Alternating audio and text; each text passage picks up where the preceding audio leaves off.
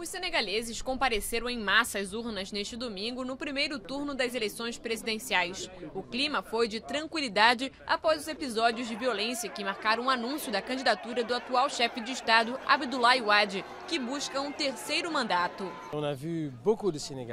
Vimos muitos senegaleses fazendo fila em frente aos escritórios eleitorais antes mesmo de abrirem. Isso significa que estão motivados a votar. É ótimo ver tantos cidadãos votando, esperando por sua vez pacientemente leur tour calmement. Mais de 5 milhões de eleitores foram convocados às urnas para esta votação considerada de maior risco da história do Senegal. Os primeiros resultados oficiais devem sair na terça-feira.